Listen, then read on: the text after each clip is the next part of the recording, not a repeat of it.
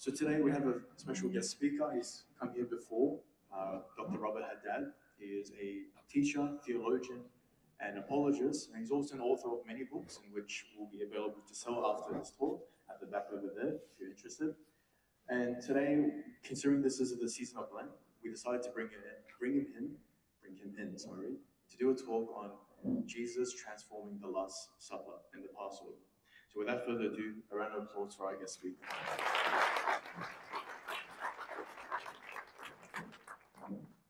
Thank you very much, and uh, thank you very much for the invitation. I love coming here, and uh, I've been here quite a few times, some smaller groups and big groups like this. It's a, it's a great honor, and I'm excited. This is a very, very interesting topic, but it's a challenging one. And I'm going to give it to you in a way I haven't given it before to anyone else. In other words, I'm going to give you the, the most complex extended version because at the moment I'm doing a Bible study on the Passion of Christ in the Gospel of John for another parish. So I've learned new things about how Jesus changed the Passover. And I'm going to pass them on to you. And there's also a section which is very difficult, and I'm afraid I might lose you during that section.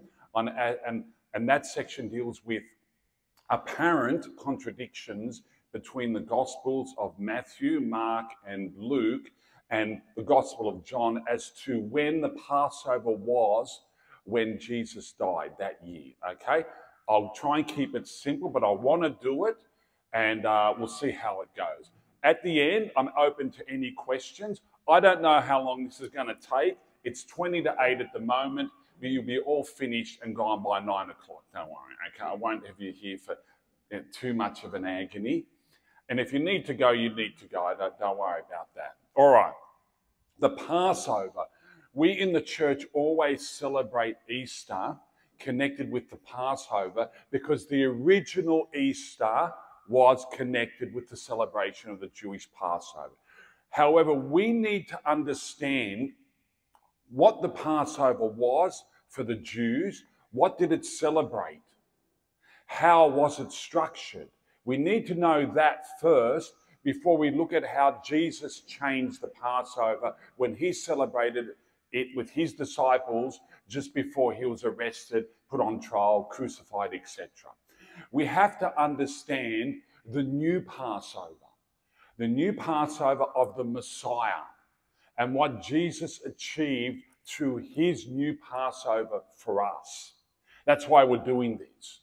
It's not just a study of scripture and a little bit of history and a bit of theology. It's understanding exactly what Jesus Christ did for us, did for the world through the Passover of the Messiah. That's the most important thing.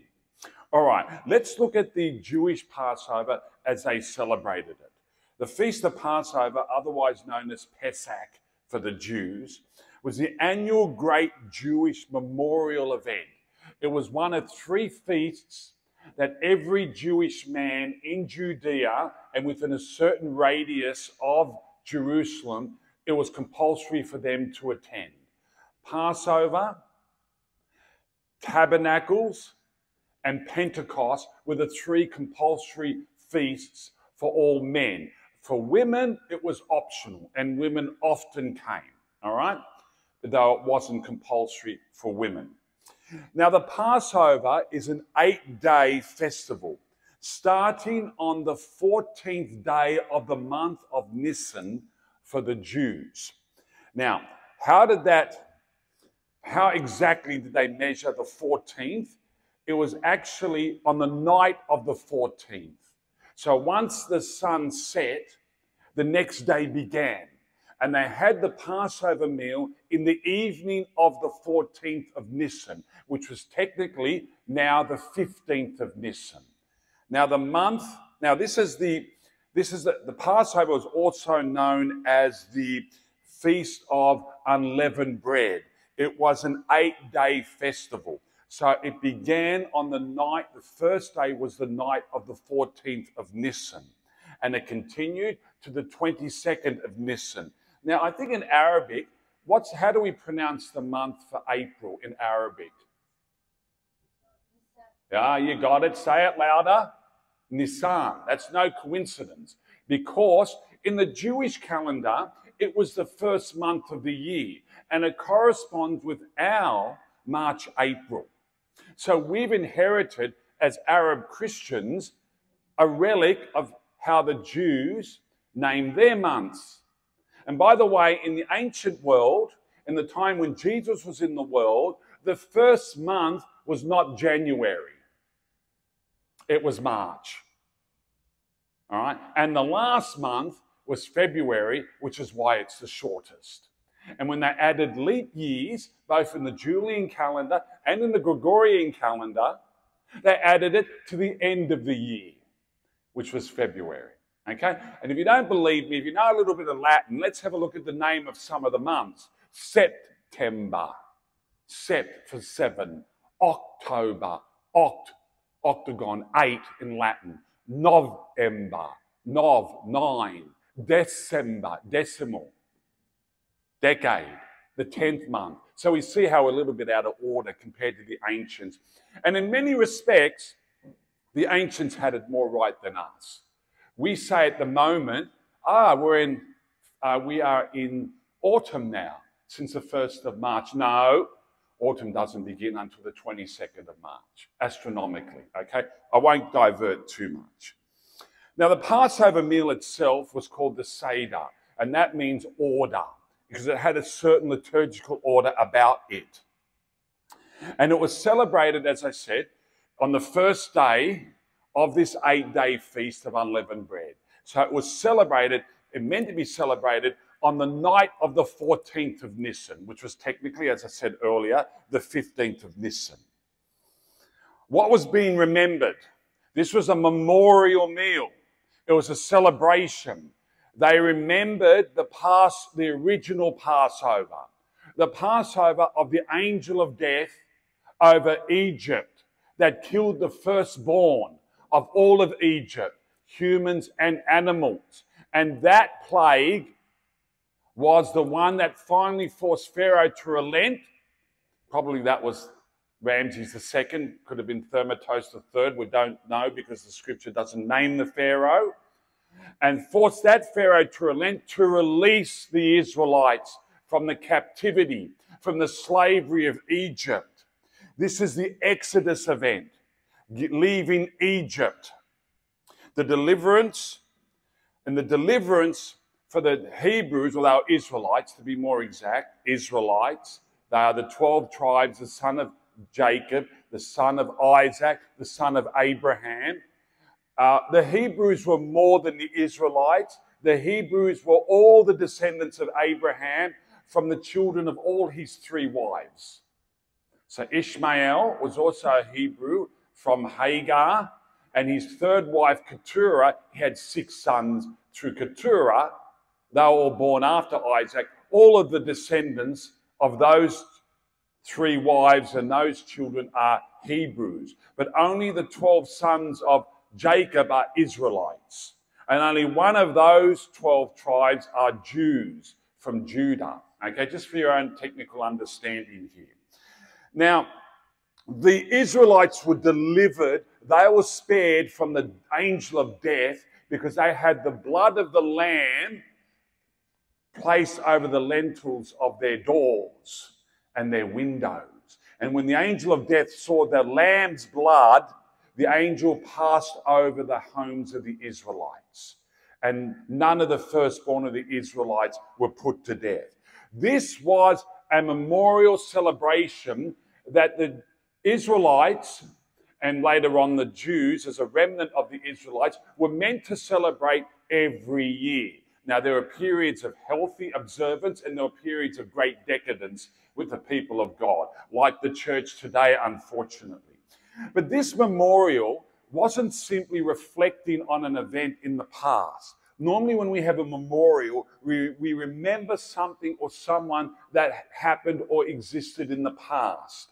But this memorial has a special Greek word, anamnesis, anamnesis, which is a memorial that attempts to reenact that original event and make that past event present. You need to understand that. So that will help you understand what Christians do today in the divine liturgy, in the Mass. the Mass is also an anamnesis. It's a memorial that makes present a past event. So, where did this where did the passover meal take place? Where was it meant to be celebrated and to be eaten? It was meant to be eaten in the family home. And the father was the one who presided over the passover liturgy. So the father the mother and the children were all present. And it's and it started with questions from a child Father, why is this night different than any other night? Because they're remembering the night of the Passover of the angel of death. So that's the first question that starts the Passover liturgy. Then there's a re- recounting of the covenants made by Yahweh or God Yahweh is the name of God only really from the time of Moses onwards. I am who I am. Right? The acronym is Yahweh is formed from the first Hebrew letter, Yod Hey Vav Hey. They're the Hebrew letters. Yod Hey Vav Hey are consonants. There's no vowels, but we pronounce it probably Yahweh. So that's the name of God from the time of Moses. But in the Passover liturgy, they remember the covenants that God made with Abraham. And the chief one of them is that you'll be the father of many peoples that will number as the stars, and from you will come one who will be a blessing to all the nations. And the covenant with Moses as well. So that's the one that the Israelites and the remnant Jews would have been living under, most specifically the covenant with Moses. They're the ones that are remembered. And then the Exodus event is recounted by the father. Moses, conflict with Pharaoh, the 10 plagues, the Passover itself, the escape from Egypt, the passing through the waters of the Reed Sea, the, the destruction of the Egyptian army, and then passing into the Sinai. We can do a talk just about that, what that means for Christians as well, but that's for another occasion. And this is all done before those in celebrating or participating in the Seder meal have consumed the second cup. Now, the, the Passover meal had four cups, and they are named as follows the Kiddush cup, Kiddush, the sanctifying cup, the sanctification cup. In Arabic, Kiddush means holy, doesn't it? The holy cup, the sanctifying cup. Then you have the second cup called the Haggadah. The Haggadah, the proclamation of Scripture. So there's they drink the first cup, the Kiddush, the second cup, the Haggadah. The third cup is the Barakah, blessing, cup of blessing. Again, remember that. I'm asking you to do a lot. Remember, Barakah, cup of blessing, the third cup. And then the fourth cup is the Hallel cup, the cup of praise. You need to bank that four cups to understand what Jesus does and what he does differently. Then there's food, there's food eaten between the second and the third cups. What was the food? Bitter herbs. Remember, they had to remember how life was unpleasant in Egypt and they remembered those 400 years of slavery by consuming bitter herbs horseradish and haroset. I don't think I've ever had any of them, but just imagine that they are rather bitter. Okay? And then they ate the unleavened bread. So remember, between the second and the third cup, they're eating horseradish, haroset, and the unleavened bread called the matzot. The matzot the flat bread. Now, us from the Middle East, we're used to flat bread. Right? This sliced bread thing is only modern. All right? Flat bread. 50 years ago, if I was seen eating that type of bread in schools, they came around me, tormented me, and called me names. Now, these same people who called me names are going to Lebanese restaurants and eating the same thing today. Okay, all right. Flat bread, the matzot. Okay, the unleavened bread, it's unleavened because it has to be unleavened because they don't have enough time, the Israelites, to bake it properly with yeast to have it rise. They, it, the unleavened bread was for, for them to remember how they had to suddenly, quickly escape from Egypt. They didn't even have, didn't even have time to bake bread properly. Okay? And then they ate the roasted lamb. Now, the lamb, lamb, the lamb of God here.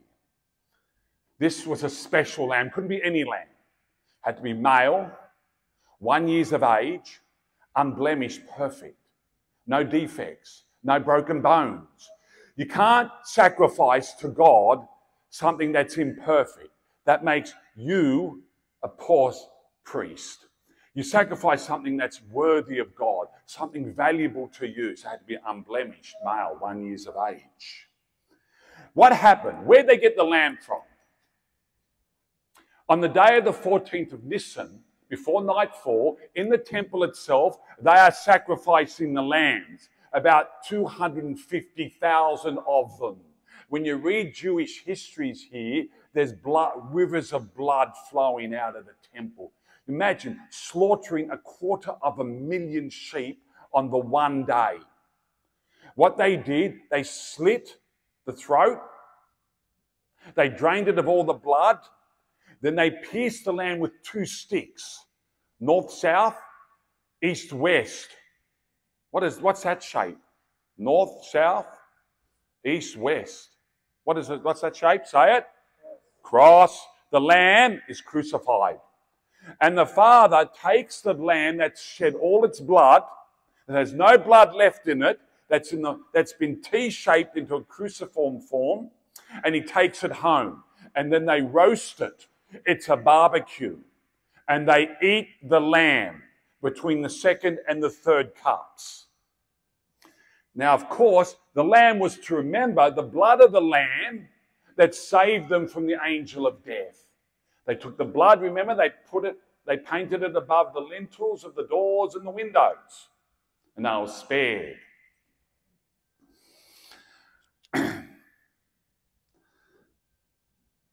Now, this was all done in the afternoon. The lambs were slaughtered in the afternoon after midday on the 14th of Nisan. Again, remember that. Okay, when I come to the hardest part of this presentation. It was essential for the proper celebration of the Passover meal for all the cups to be drunk, for the bitter herbs to be eaten, for the matzot bread to be eaten, and for the lamb, the sacrificed lamb, to be eaten. So the Passover meal was both a meal and a sacrifice. The sacrificial aspect was the lamb itself that was slit, drained of blood, and consumed. After that, they sang the Hallel Psalm, Psalms 115 to 118. And then this was between the third and the fourth cup. So, sorry, I should say that they had the third cup, the cup of the Berachah cup, the cup of blessing they drank after they ate all these herbs and bread and lamb. And between the third and the fourth cups, they sang the Hallel Psalms. And then they had the last cup, the fourth cup, which was the Hallel cup. And when they drank the fourth cup, the father who presided over the Passover meal said, It is finished. The consummation cup. The Hallel cup is also called the consummation cup or the it is finished cup. Okay, so now there you get an idea of what was the original Passover. And some of you, I can tell by looking at your faces, are thinking, I get this. I see a lot of Christian imagery already embedded in a Jewish or Israelite liturgical practice. Okay? Because we are, we're wearing Jesus glasses. And because we're wearing Jesus glasses, we can reflect on this event and see the Christian aspects to it. All right. Now we're going to look at the Last Supper with Jesus and the disciples in the upper room. Who's been to the Holy Land here? Right? Not, not many. One. Hands up really high. One, what, two. You've been to Jerusalem? Did you go to the, keep your hands up if you went to the, up the, the place where they believe the Last Supper was celebrated? Okay, that place doesn't exist anymore. There's a new building on that site from the Middle Ages. But that is probably the site where Jesus celebrated the Last Supper with his disciples. And it's in the southwest of the old city of Jerusalem. That's important. The Passover meal of Jesus was a different Passover for many reasons. It was the Passover of the Messiah, a new Passover celebrated by a new Moses to effect a new Exodus for the new people of God. How was Jesus' Passover meal with the disciples different to the standard Passover meal? Firstly, it was not celebrated with a family.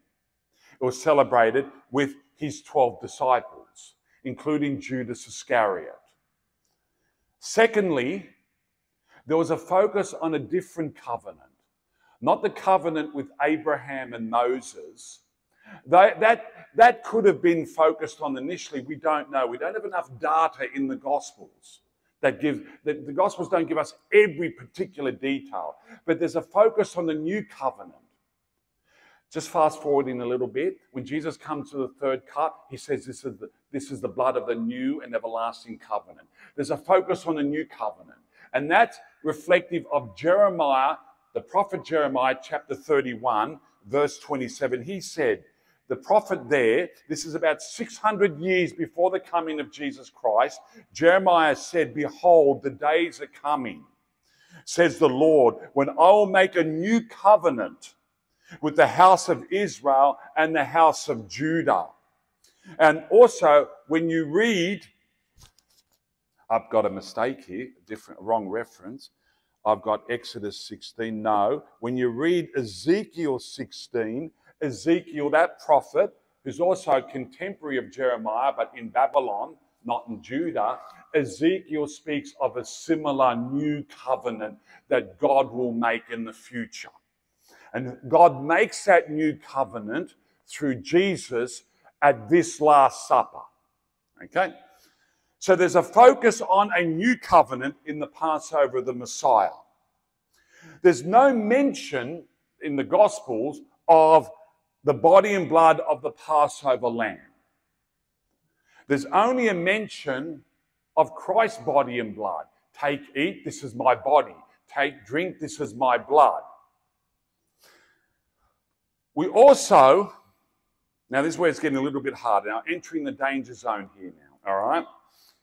We look at John's gospel. We have to look at the synoptics, that's Matthew, Mark, and Luke, and John, and see what they all say about the Last Supper, because they say different things, and we have to piece the two together to get a complete picture.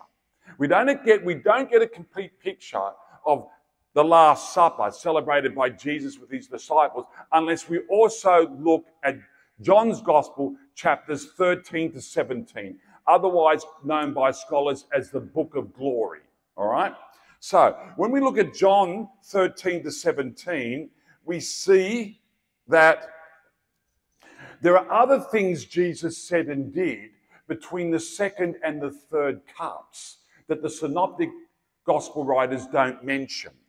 Jesus has the washing of the feet ceremony in chapter 13, right? Where he's teaching his disciples what real leadership is. You've come to serve rather than be served. Was also a test of obedience for St. Peter, okay? Washing of the feet ceremony.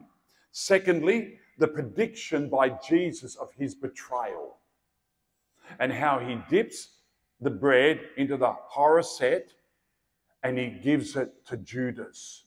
And Judas walks out into the night, which is symbolic of Judas. The devil has now entered into him. And Lucifer, sorry, Judas has submitted to the temptation completely to betray Jesus. This was a betrayal that was one year in the making. Judas had already begun to lose faith in Christ, Jesus of Nazareth, a year earlier when he couldn't accept what Jesus said in the Bread of Life discourse there in northern Israel, northern Holy Land, above the Sea of Galilee at Capernaum, when Jesus spoke about, You must eat my flesh and drink my blood. He eats my flesh and drinks my blood abides in me, and I in him, and I'll raise him up on the last day. And the bread that I will give is my flesh for the life of the world. When Jesus was speaking like that, the vast majority of his followers, and this is recorded in John 6, walked away from Jesus thinking, Who could hear this? This is intolerable. This is madness. If I'm standing in front of you saying that if you want to get to heaven, you must eat my flesh and drink my blood, you're out of here. And those who bought my books want their money back. Okay? All right? You can't hear this. This is nonsense talk. So, looking at John 6 66, it appears to be the case that Judas also lost faith. And finally, it breaks for him at the Last Supper. He takes the morsel from Jesus' hand, our Lord's last goodwill gesture to him, and he goes into the darkness of the night. So, this is Judas has gone to betray him. That's in chapter 16. Now, John doesn't tell us anything about the institution of the Eucharist during the Passover meal. He doesn't because it's already known to his Christian audience from the other three Gospels and from St. Paul's letter, 1 Corinthians chapter 11. But probably it's after Judas has left, Jesus takes the bread and says, Take, eat, this is my body. Takes the third cup, the cup of blessing, and says, Take, drink. This is the blood of the new and everlasting covenant, shed for you and for many for the remission of sins. Do this in memory of me. So, because Judas has probably left before Jesus celebrates the first Eucharist, Judas did not receive the Eucharist and he was never made a priest. But there are very strong opinions in the church by men, great men, doctors, saints, fathers of the church, who argue that yes, Judas did receive the Eucharist and was made a priest before he left. I'm giving you an opinion here from what I, my own personal reading of the Gospels, and it looks to me from John's Gospel that Judas left be, before Jesus instituted the Eucharist and the priesthood. And then, then we so Judas has left. Jesus celebrates the first Eucharist, and then Jesus pro- pronounces his priestly prayer in chapter 17. He's now, it's called priestly prayer because Judas has gone into the dark to begin the passion of Christ. This is the hour of glory for Christ. Christ's glory will be affected by him fulfilling the will of the Father. He glorifies the Father by doing the will of the Father to submit to the plan of salvation, and he is glorified for his obedience. And in this prayer, Jesus also prays for the disciples and those who would come to the truth through the disciples then and in the future, and for the unity of Christians. We don't have unity for Christians today, not because Jesus' prayer failed, because we in our freedom, we've abused our freedom and we've defied that prayer of unity that they may all be one. Now, this was, this is, this is the new Passover, as I said, all deliberately altered by Jesus, and there's more to come. Was a lamb eaten in the Last Supper? We're not sure. Ordinarily, in the Passover meal, the sacrificed lamb would have been eaten between the second and the third cups. But when we go to John's gospel, now we're getting to the very difficult part of tonight's talk. John tells us that when Jesus was being crucified, they were sacrificing the lambs in the temple for the Passover meal that night. We know from chapter 18 that when Jesus is already appearing before Annas and Caiaphas and Pilate and Herod and Pilate again, that the Pharisees and the scribes and the Sadducees had yet to have their Passover meal.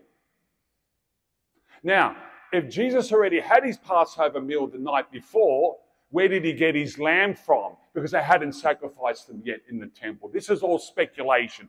We don't know for certain. My personal view is that Jesus changed the Passover to such an extent that the lamb that was eaten by the disciples was not a lamb that was sacrificed in the temple as it should have been, because that was still to come. the day, the next day. But the lamb that Jesus gave that was sacrificed was his own sacred body and precious blood, the Eucharist, when he gave it to them between the second and the third cups. Okay. Now, when, you, when we look at the Gospels, the, the, what do they agree on? The Synoptics and John agree that Jesus had his Last Supper with the disciples on a Thursday night. They all agree that Jesus was crucified between 12 midday and 3 p.m. on the Friday. What they don't agree on is what day was the Passover. According to the Synoptics, the Passover was on the Friday of that year. But John says it was on the Saturday of that year. They're both right. What do you mean they're both right? It's a contradiction. Yeah, because there are two different calendars operating. Now, astronomically, we know that in the reign of Pontius Pilate as procurator of Judea from AD 26 to AD 36, never was the Passover ever officially on a Friday. It was on a Saturday, twice in the year AD 30 and the year AD 33. So Jesus was crucified either Friday the 7th, AD 30, or Friday the 3rd, AD 33. One of those two dates. So, astronomically, the official Passover was on the Saturday in the year Jesus was crucified. According to John, so I could say John's gospel is correct. Does that mean that the the synoptics are wrong and that they're in error and that they're, they're all in contradiction? No, because the synoptics are recording the calendar that Jesus was following. Jesus was following the rebel calendar, not the official calendar. Jesus wasn't following the calendar of the Sadducees, the priests, and the Pharisees and the scribes, which is the calendar celebration that, that John records. Jesus celebrated his Last Supper in the southwest of the old city, in the Essene quarter. The Essenes were those religious, like monks, male, celibate, who live like monks out there in Qumran, and John the Baptist for some time associated with them. Their calendar, their Passover was on the Friday of that year. And the Gospels, the Synoptics are recording how Jesus celebrated that Passover calendar in that year. So they're both right, because the synoptics are recording the Essene dating, or the Essene calendar, and John the official calendar. How do we know that Jesus was in the Essene quarter? It's a very oblique, very oblique uh, clue. And it's from the fact that in Luke 22:10, Jesus tells the disciples to find that room in which they're going to celebrate their Passover. And there's a man recorded carrying a jar of water.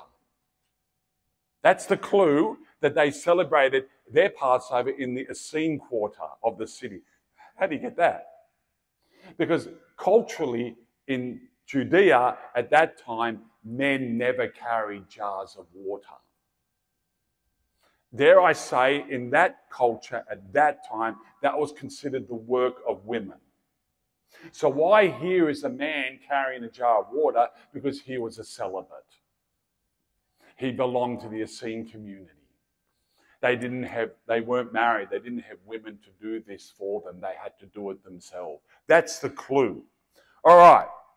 Now, I made that a little bit simpler, and I'm glad I did uh, otherwise, I would have lost you to some extent. Now,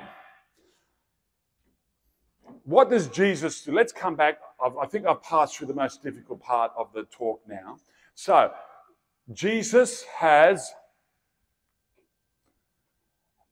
drunk the first cup, drunk the second cup, eaten the, bitten her- eaten the bitter herbs, eaten the um, the matzot bread. Before that, he washed their feet. He Judas betrayed, goes to betray him. What does Jesus do with the matzot bread? This is when he changes it. Take, eat, this is my body. And in doing that, he fulfills the promise he made a year earlier at, back up there in the north of Capernaum. When you go to John 6, 27, 28, Jesus speaks about the bread that God gave through Moses that sustained the Israelites in Sinai in the desert. Jesus said, But everyone who ate that bread died. I will give you another bread, and he who, eats this bread shall live forever. Jesus fulfills that now with the matzot bread. Take, eat, this is my body. With the cup, this is now the third cup, the cup, the Beraka cup, the cup of blessing. Take and drink. This is my blood, the blood of the new and everlasting covenant, shed for you and for many for the remission of sins. Do this in memory of me. Why shed just for many? It's shed for all, but only many will benefit, meaning there will be people who won't accept, won't believe, won't be saved as a consequence. So here, Jesus, in the, with the third cup, fulfills the other part of the bread of life discourse. He who eats my flesh and drinks my blood abides in me and I in him, and I will raise him up on the last day. You know how significant the Eucharist is just from those words? When we receive the Eucharist, like you did tonight, you receive Christ's sacred body and precious blood with his soul and divinity. But what body did you receive? What blood did you receive? Of course, it's Christ's body and blood, but glorified. The Christ, the body you receive is not the dead body of Christ, but the glorified, resurrected body that's now in heaven. I'll come back to that. There's a scripture I have to read to you about that. You receive Christ's resurrected, glorified body and blood. This is what St. Ignatius of Antioch, the great third bishop of Antioch, said, who was ordained a bishop by St. Peter succeeded Evodius, who succeeded St. Peter as the Bishop of Antioch, wrote to the Ephesians in AD 110 that this is, and also he wrote to the Romans and the Smyrnaeans, all in the same journey about the Eucharist, and he called the Eucharist the antidote to death, the fruit of resurrection, and the antidote to death the antidote for death. In other words, it's the food that's going to enable us to rise again on the last day in a glorified body, a body ready for heaven. You can't be in heaven as you are in your body. God is a consuming fire. If you can't be in the presence of a raging fire, how can you be now with your body in the presence of the Almighty, eternal, infinite God who is, according to the book of Hebrews, a consuming fire? You need a special spacesuit to be in heaven. And like you need a spacesuit to be in space, and you need a spacesuit suit to walk on the moon, and they're going to need spacesuits to walk on Mars. To be in heaven, you need a spacesuit. You need a heaven suit, and your heaven suit is your glorified body, which you receive as a consequence of receiving Christ's glorified body in the Eucharist. Now, you after hearing this, you should never come to Mass again with a mediocre attitude about the Eucharist. And some of you should be thinking, hey, this food is available every day. Well, for the as Jesus said in the bread of life discourse, the Israelites ate this bread. It was given to them six days a week. Every morning they found, they found the manhu, that's in Hebrew, manhu. We say manna in English, six days a week on the ground as a white film.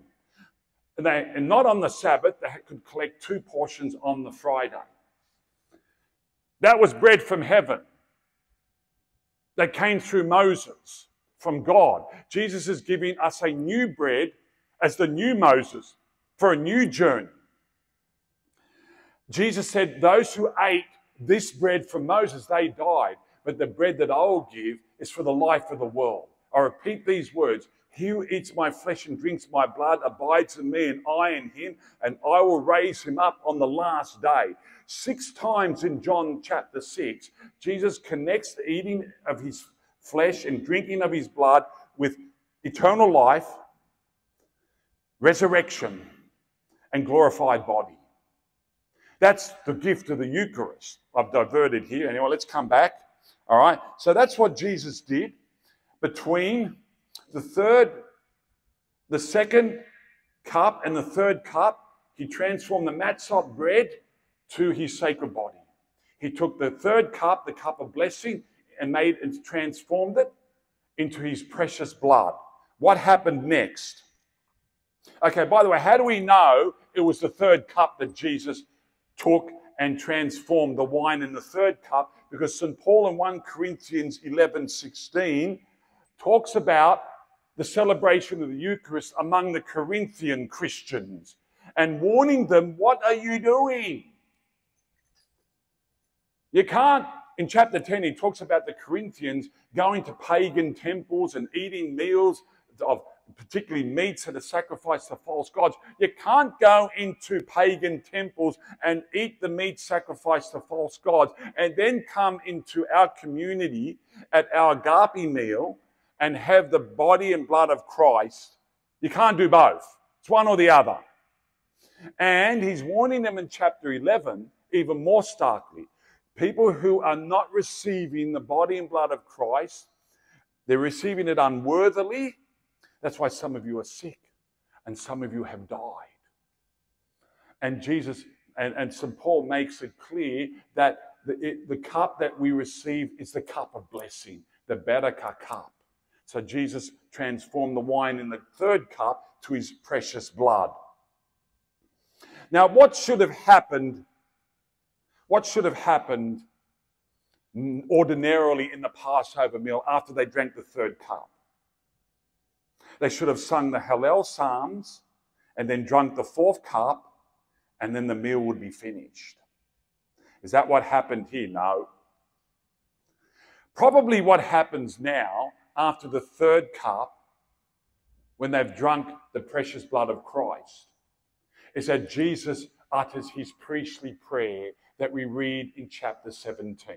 If I said earlier he did it earlier, I'm mistaken. Probably he did it now after the third cup, because when you read John's gospel, it, it's it, the feeling you get is that Jesus pronounces this priestly prayer and then leaves with the disciple. And when we read Mark 14, sorry, no, when we read Matthew 26 30 and Mark 14 26, Jesus then leaves the upper room with his disciples, and this, and I'll read it here. And when they had sung a hymn, they went out to the Mount of Olives. So they drank the third cup. Jesus' priestly prayer is pronounced. Then they start leaving singing a psalm. Probably they've begun the Hallel Psalms and they're singing Psalm 115 first of all. What's missing? What haven't they done? They haven't drunk the fourth cup. They haven't finished the traditional Passover meal in the way the Jews normally celebrated it. Now, Jesus goes into the garden. I want to give you some advice. When things eventually settle down in the Middle East, at least for a period of time, if you ever get the opportunity to go on a pilgrimage to the Holy Land, do it. I've been four times. Three, once on my honeymoon, at the end of my honeymoon, the last week of my three week honeymoon, and three times for work. I take teachers, I take people who work in schools to the Holy Land. Is it dangerous? Yeah, it can be. But I live in Bankstown and I feel more in danger in Bankstown than even on the West Bank. Okay? West Bank or Bankstown? Which bank is safer? Probably the West Bank. Okay? Now, when, it's, when there's no trouble, and I, okay, it's not a laughing matter, we know how tragic it is. We both belong to communities from the Middle East that have suffered enormously because of the whole Middle Eastern, Arab, Israeli, international conflicts, etc. Okay. Now, why did I say that? Because Jesus has gone, he's left that upper room and he's got crossed the Cedron Valley, which means muddy valley, but it's dry at this time of the year. So he's going east down into a valley, then up the valley to the Mount of Olives. And at the bottom, bottom edge of the Mount of Olives is the Garden of Gethsemane, the Garden of the Olive Press. That today you go there, and there's still very ancient olive trees trees there today, some about 800 years old. And one of the best spiritual experiences I ever had was actually walking in silence with teachers through those olive trees at night. And then going to the, the church nearby, the church of the flagellation nearby, and praying there in silence. There's a rock that's believed to be the rock that Jesus was kneeling on as he was suffering the agony in the garden. There, Jesus says the following words Take this chalice of affliction away from me. Mark 14 26. Jesus is praying to the Father. He's already consented to the will of the Father. He consented to the will of the Father when he gave Judas the, the bread dipped in the haroset. But he's doing it again now because he's feeling his humanity. He's got a true, beautiful humanity, unaffected by original sin. And the, hum- the human nature has this instinct of self preservation. We don't want to die. Jesus is feeling this but he's submitting to the will of the Father. And in the garden, he becomes the new Adam. Adam sins in the original garden, disobeying the will of God. Jesus, the new Adam in the new garden, submits to the will of God. Not to be a man seeking to be like God in knowledge, but God becoming man to be humiliated. The kenosis, he lowered himself to become a slave for us. Take this chalice of affliction away from me. Take the cup away from me. Jesus hasn't drunk the fourth cup yet.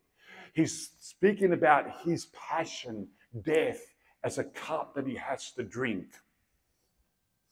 Then, of course, Jesus is arrested in the garden and he's put on trial. There are actually five trials that night.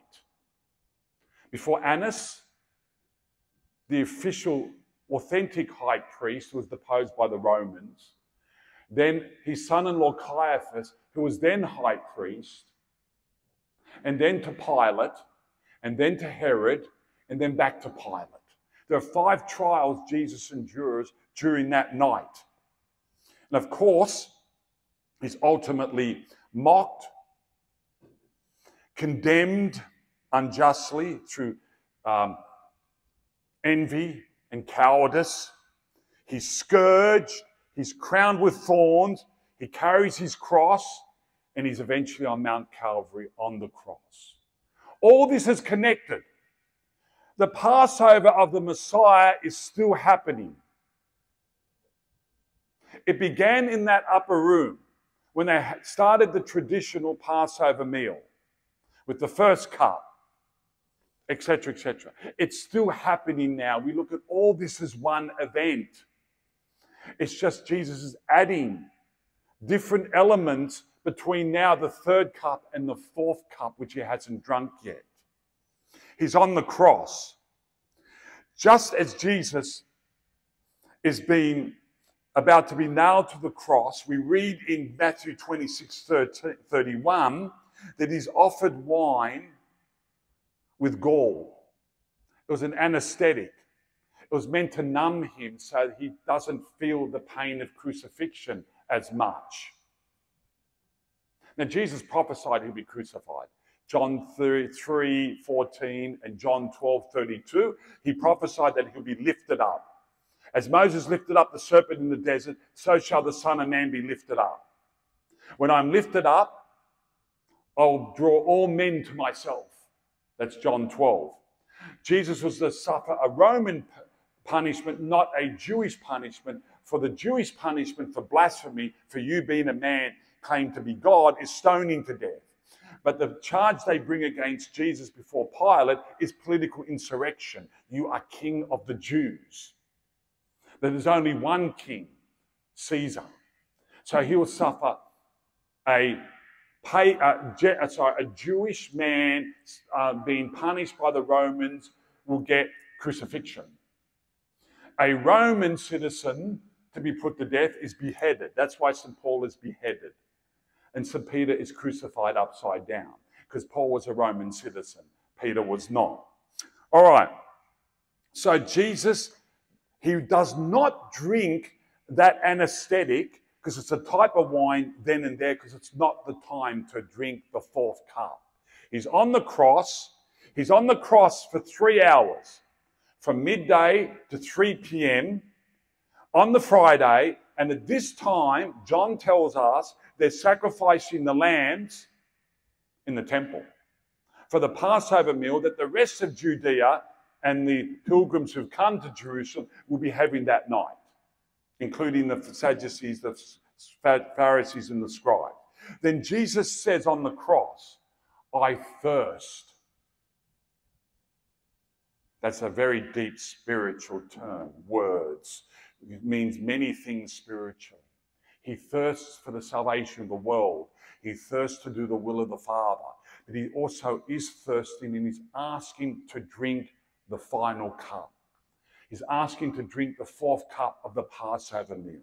And they, they put the sponge of vinegar, that's bad wine, on the, on the spear. They give it to him. He drinks it. And what does he say when he drinks it? It is finished.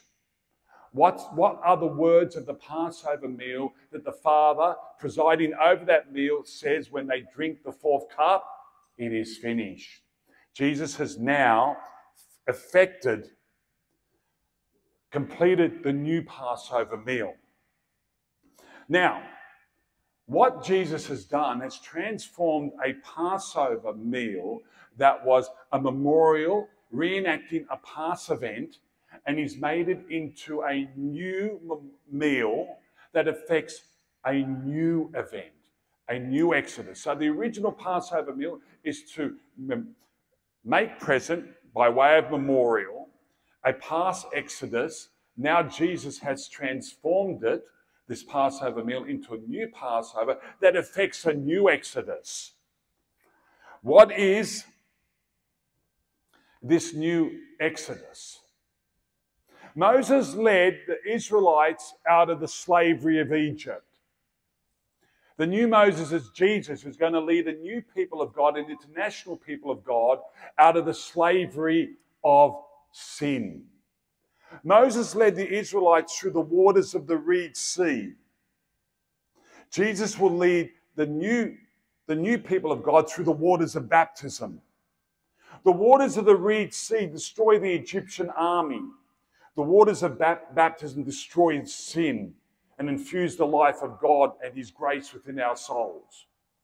The Israelites are in Sinai for 40 years. It should have been three weeks only, by the way. It ends up being 40 years. Post Reed Sea. It's tough. It's difficult. They're in the desert. That's a generation. That's a lifetime. How difficult life is, even when you're faithful. And the God feeds them water from the rock. St. Paul tells us 1 Corinthians 10 that rock followed The quails at night to give them meat, and the manna every morning, six mornings a week, the bread. In our post baptismal life, 40 years represents a generation, but in our post baptismal life, it's also difficult. And God feeds us during our Sinai, sacrament of reconciliation, confession, and the Eucharist, the new manna from heaven on a daily basis.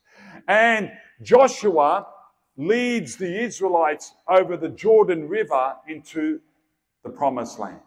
And the new Joshua, Yeshua, Jesus, leads us into the heavenly promised land. This is the new Passover of the Messiah, giving us a new manna the Eucharist for this new exodus to a new promised land, heaven. Now, let me tell you something more about this Eucharist, this new manna. St. Luke uses a word in Greek that's found in no other document written in ancient Greek anywhere. epi, epiousion. He, that's what he uses. It's in Luke 11 to describe the Eucharist. Or no, it's in, it's in, sorry, it's in the prayer of the Our Father. When you look at the Our Father in Luke 11, give us this day our daily bread, it's actually give us this day our epiousion bread. And that's a word in Greek found nowhere else anywhere in ancient Greek documents. It's called a neologism, a new word. Neologism, neologism, a new word. It means above substance. Give us this day our above substance bread. Now, when we pray to our Father, we pray for our daily bread. So we pray for our food, our water, our health, our clothing, our homes, we also our daily bread. Uh, don't pray for McDonald's because you know you don't want God to bless. You know, McDonald's isn't worthy of God or whatever. But anyway, you pray for your daily bread. But also the church fathers like Saint Cyprian, before him Tertullian, uh, Saint Cyril of Jerusalem spoke about our daily bread as including the Eucharist. And in fact, St. Cyril of Jerusalem in the mid fourth century speaks about, he translates epiousion into super, supersubstantialem. So, there, when I'm in the Holy Land and you go to the place called the Pater Noster, where Jesus gave us, where it is believed Jesus gave us the, our Father for the first time, you see very beautiful mosaic plaques on the wall by the dozens, dozens, dozens, dozens, and all these different languages of the world. And when you go to the one in Latin, the Our Father in Latin, it has there, not quotidianum in Latin, which is daily, it has supersubstantialem. Give us this day our super substance bread. So when we pray for our daily bread, we're praying also for the Eucharist as our daily bread. now, remember the term anamnesis. It's a memorial that makes present now an event that happened in the past. That's exactly what the Mass does. When you go to Mass, it's a memorial meal, but it's an anamnesis memorial. It makes a past event present. What does the Mass make present? What Christ did on Mount Calvary. It's not a new Mount Calvary. It's not a new Calvary. It's not a new sacrifice. It's like, in a sense, by analogy, a time machine. The Mass makes that event that sacred event that was the Passover, core to the Passover, the Messiah, that brought about the Exodus for the new people of God, makes that present for us today. If you had a two dollars to put in a, a, time machine and you're given just one turn with that time machine, you could go back in time to one place and one place only. Where would you go? I'd go to Mount Calvary. AD 30, 7th of April, I want to stand in front of the crucifixion. You do at Mass. That's the, the Mass is an anamnesis. It's a memorial that makes present a past event, substantially present. But it's interesting here. What's interesting here is that it does more than that. It makes present Christ as he is now in heaven. You go to Hebrews 12, 22 to 23. And the author of Hebrews, probably St. Paul, many people, they're not sure who wrote Hebrews, describes heaven, where God is, the angels, the spirits of the souls made perfect, and then speaks about Christ and his sprinkled blood. What Christ is doing now in heaven, he's enthroned as King of heaven at the right hand of the Father. He is King of kings, Lord of lords, King of heaven, fulfilling what Daniel said in chapter 7 lifted up from the earth and seated at the right hand of the, of the Ancient of Days. We say in the Creed, at the right hand of God the Father Almighty. He's interceding on our behalf, but he's also priest who ministers in the temple. You go to Hebrews 8, Hebrews 12, Jesus is a priest forever in the order of Melchizedek, and he's ministering in the heavenly temple. So Jesus as priest in the heavenly temple is ministering what? What sacrifice is he offering to God the Father right now at the right hand of God the Father Almighty as the one eternal high priest of the heavenly temple of the order of Melchizedek? He's offering the same sacrifice he did on Mount Calvary. He's not offering an additional sacrifice or another Mount Calvary. He has this sprinkled blood. Jesus rose the, from the dead in his glorified body, and he retained in his glorified body the five wounds in his hands, in his feet, and in his side. So Jesus in heaven is not just Lord of Lords and King of Kings, he's also priest, offering sacrifice, ministering in the temple. He's offering to the Father on behalf of humanity as we speak right now the same sacrifice he did on Mount Calvary. And that's the Christ that's made present in the Mass. So the Christ and his sacrifice on Mount Calvary is the same now. That was in time, once and for all in time. It's entered heaven now, and it's at the right hand of the Father for all eternity. And that is what is made present in the Mass. So, Mass has to be reverent. When I arrived today, I saw that sign you've got in the foyer how you should be dressing, how you should be behaving. I've never seen one as good as that anywhere in the world. I've been to many churches in Europe, the Middle East, North America, Central America, South Australia, South America, Australia, New Zealand. Never seen a, a, sign like that. I took a picture of it and sent it to my friends. And I said, at least they know, that, uh, at least they get it, I said. At least the, the Catholics in St. Thomas Chaldean Church at Bossley Park, they get it. You've got to be reverent because you are have entered heaven. The Mass is making heaven present. You are brought into, not only in front of Mount Calvary, heaven is touching earth through the Mass. And you are present before the Christ, the glorified Christ, who is the right hand of the Father now, ministering in the heavenly temple. And that's the Christ we receive. And this whole Passover actually doesn't finish with Christ's death on the cross. Drinks it, it is finished, he's dead, and he's buried rises again on the third day.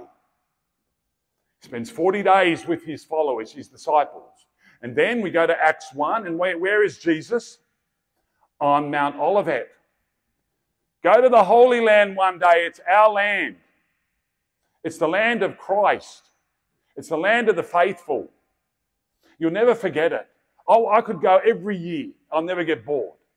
I want to stand. You can stand where Jesus, you can be where Jesus was born where Jesus was crucified, where Jesus rose from the dead, where Jesus ascended into heaven. And on Mount Olivet, recorded there in Acts 1, there's Our Lady, the apostles, and the 120 all up, and they see, they see Jesus ascended to heaven on a cloud. That cloud is the glory cloud. The Hebrews in, that, in the first temple, the Israelites in the first temple, had the glory presence among them. It was called the Anani Hakavod in Hebrew. Anani hakavod, the glory cloud presence, which departed from them when your ancestors, the Babylonians, came and destroyed Jerusalem and destroyed the temple. And God left because God felt like a wife who's been betrayed by an adulterous husband. Because the, the Hebrew, sorry, the Judeans had, and, and the Israelites before them had gone to worship all other gods. And the glory cloud departed but returned at Pentecost. Tongues of fire, and the glory cloud before that lifted Christ into heaven. That ascension is part of the Passover of Christ, the new Passover. The Passover of Christ is the Passover meal, his passion, his death, his resurrection, and his ascension into heaven, where he is now. That is the Passover. That's the Passover Christ achieved for himself and merited for us. We also are meant to be going through the same Exodus Passover journey. And we are fed, started with baptism, supported by the sacraments of penance and the sacrament of the Eucharist. And we hope one day to pass over the threshold from this life to the next, and at the end of the world, rise in a glorified body, a body ready for heaven that will suffer no more pain, sickness, suffering, decrepitude, or death, no more tears, and we're in the heavenly glory with Christ for eternity, and that will be the finality of our Passover. On that note, I'll finish. Thank you very much.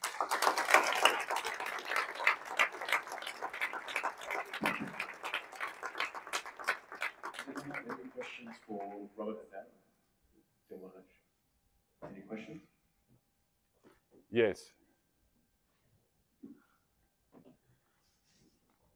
Robert. Thank you so much for that talk. Um, I have a question which Um, so you know how you're talking about how Jesus instituted the Eucharist, and you're saying that um, that in the Eucharist we receive the glorified body. On on Holy Thursday, would, would the disciples have received the glorified body? They receive. Uh, yeah, that is. That is an excellent question. That is an excellent question. I repeat it. Did Christ on Holy Thursday receive the glorified body of Christ? They received the body of Christ as it was then, all right, which was not yet glorified. They received Christ, what we call the preternatural body. They received a perfect body, the same body Adam had before he sinned. Adam and Eve were conceived and born without sin, with all the supernatural and preternatural gifts. Supernatural gifts, grace, which has prepared them for heaven, right? They were sanctified, elevated spiritual children of God. And preternatural gifts is a Greek word meaning beyond. They were given gifts that, that uh, perfected them for their life on earth. So they were free from, they had integrity, infused knowledge, impassibility, freedom from pain, immortality, freedom from death, and infused knowledge, and all these other wonderful gifts. So Christ had a, a, a body immaculate, without sin, and completely gifted with the supernatural and preternatural gifts. That's the body the disciples received at the Last Supper. Okay? Great question, very advanced question. All right, well done. Okay, yes, next. Sorry. Any other questions? Acting like a teacher when I said that. All right, I was a teacher for too long. Not for too long. I love. Who's a teacher here? Any teachers here? Yeah, good on you. Excellent. All right, we need more good teachers. There's one who came up to me before the talk tonight, and she's at uh, Fairfield. And we went on pilgrimage last year to World Youth Day. She went via the Holy Land. I forget her name. Okay. Right. Any other questions? Yes, over here.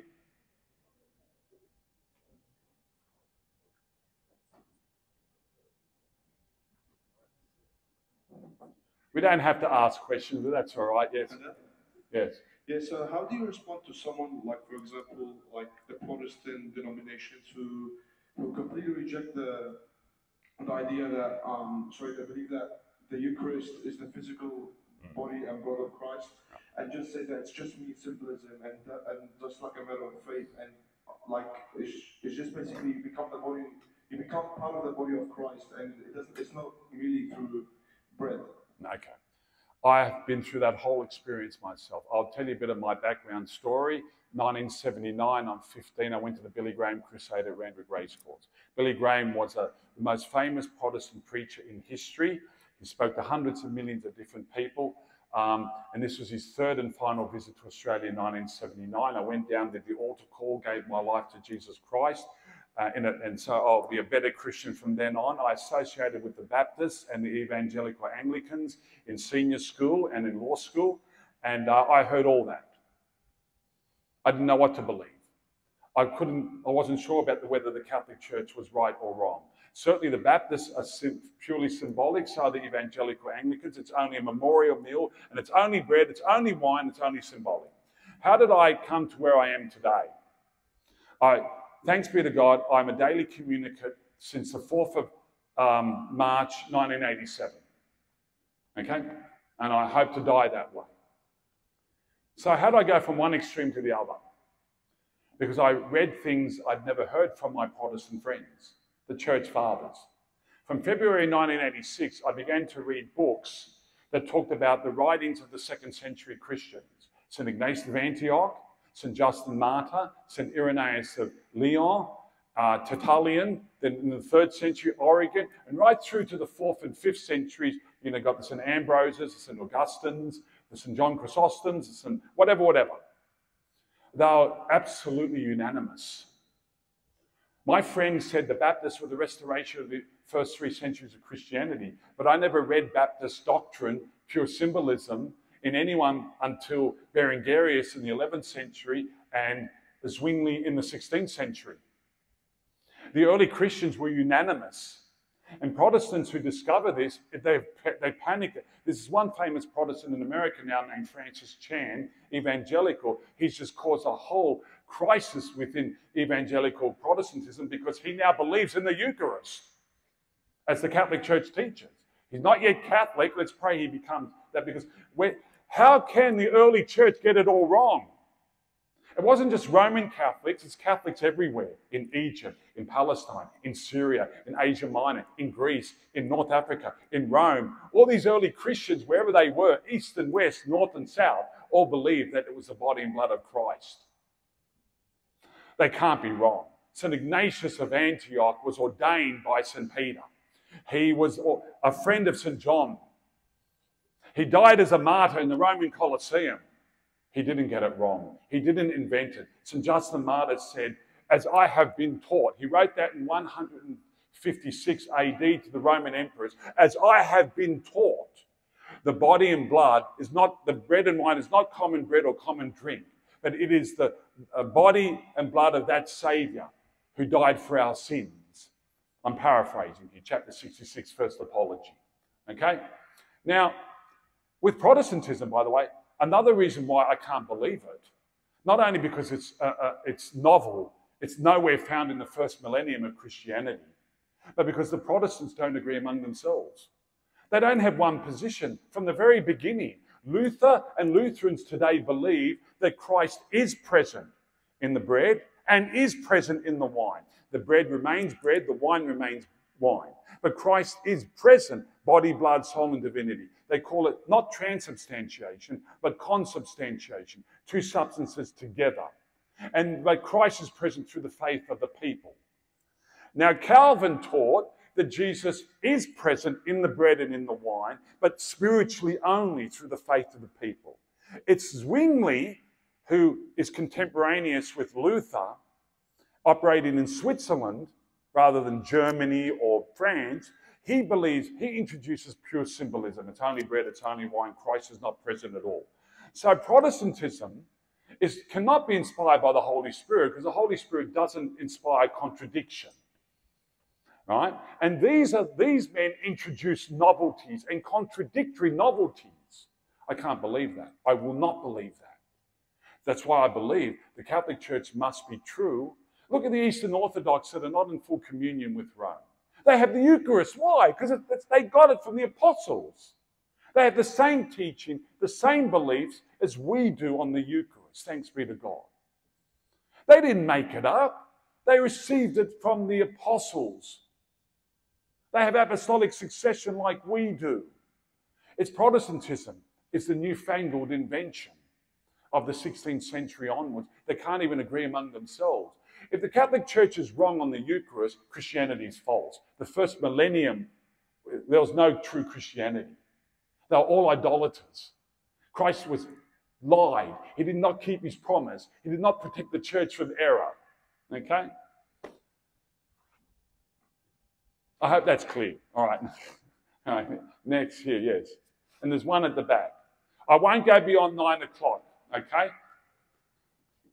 Uh, I have a question on the on like carvings and stuff, like carvings. Yeah, yeah. Because yeah. I had someone who was Catholic telling me that that she's um, thinking of going against the Catholic Church because of that. She goes, "Oh, if you read in the Bible, it says not to make graven images and all that, and not to make what is what what what what, what is um what is below, what is in heaven." Oh yeah, okay. Yeah, it does say that, but she misunderstands it because what they do is that the Protestants separate that commandment into a second commandment when it's part of the first commandment. So it's not a commandment. When you take it as a separate second commandment and look at it by itself, then it gives the impression it's you're meant to have no statues, no images, nothing carved, nothing three dimensional, nothing two dimensional, nothing in heaven above or the earth below.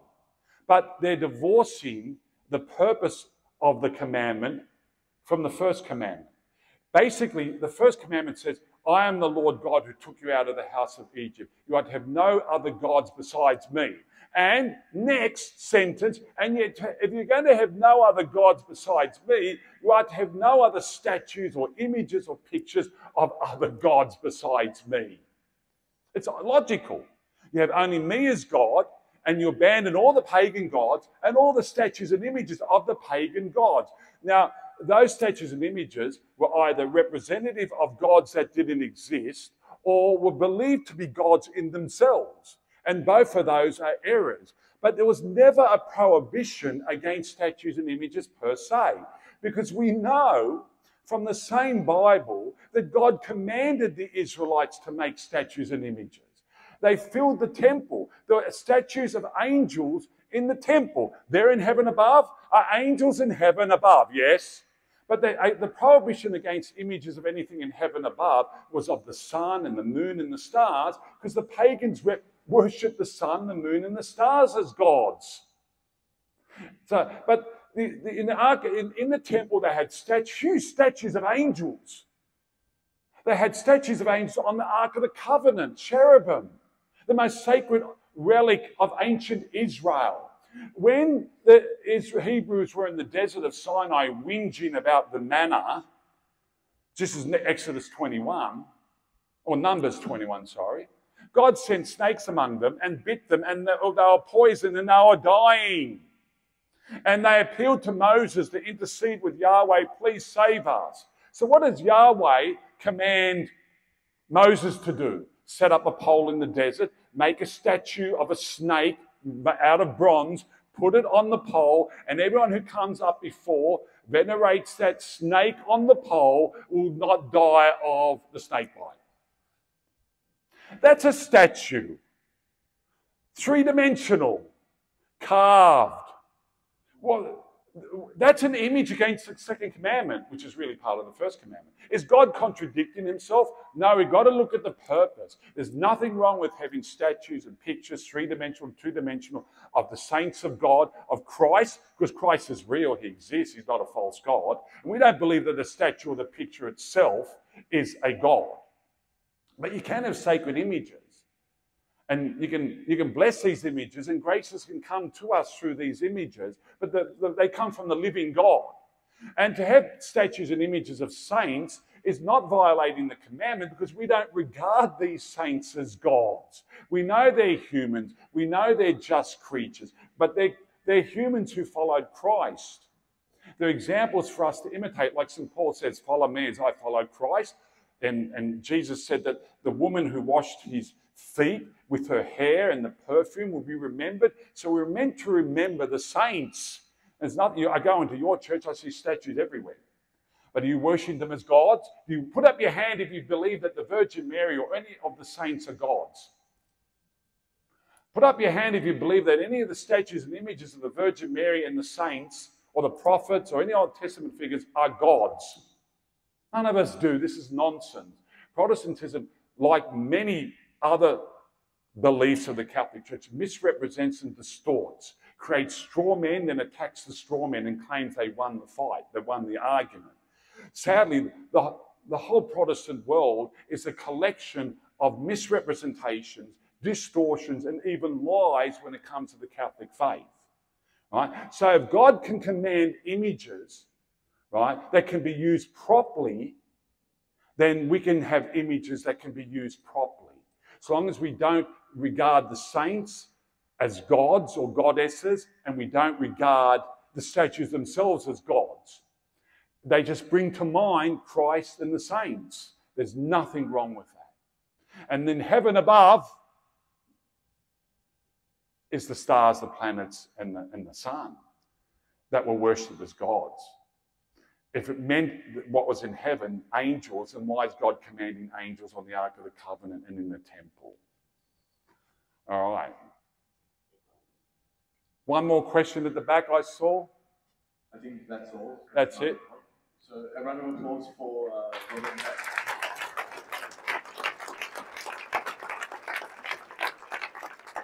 Before I bring Daniel to